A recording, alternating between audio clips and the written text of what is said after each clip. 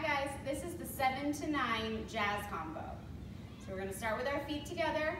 We're gonna have four claps on your knees. One, two, three, four. Then four claps. Five, six, seven, eight. Then we're gonna do a chasse ball change to the right. Chasse, ball change. Your hands are under your chin.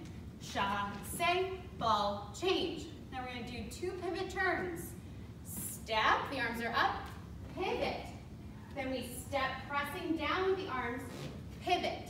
Then we have four marches, starting with the right foot. One, two, three, four.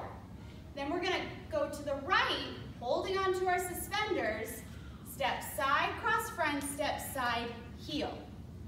Then from here, we're gonna do a jazz square, step on the left foot, slightly forward, cross, back, side, then we're gonna do a three-step turn to our left.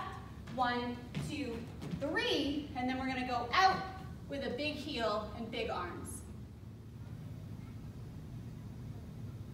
It's supercalifragilisticexpialidocious. Even though the sound of it is something quite atrocious. If you say it loud